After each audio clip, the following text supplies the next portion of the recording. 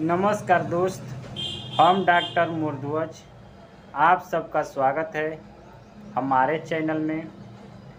स्त्री या पुरुष या लड़के या लड़कियाँ, जिन लोगों के आँखों के पलकों में बार बार बिलौनी होती है, पहले सूजा न जाता है, फिर लाल होती है, फिर एक दो दिन बाद उसमें पीले रंग का पौष पड़ जाता है।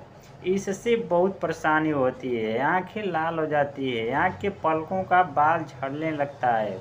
ये तरह तरह की समस्या जाती है। तो उन लोगों को बहुत इफ़ेक्टिव मेडिसिन है।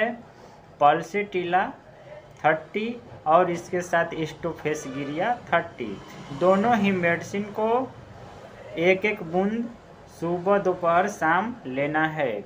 पल्सेटिला और स्टोफेसगिरिया बिलौनी के लिए 70 परसेंट कारगर है और 70 परसेंट रिज़ल्ट देती है। तो आइए वीडियो अच्छा लगा है तो लाइक कीजिए, ज़्यादा से ज़्यादा शेयर कीजिए ताकि अगला वीडियो आपको आसानी से मिल जाए। नमस्कार।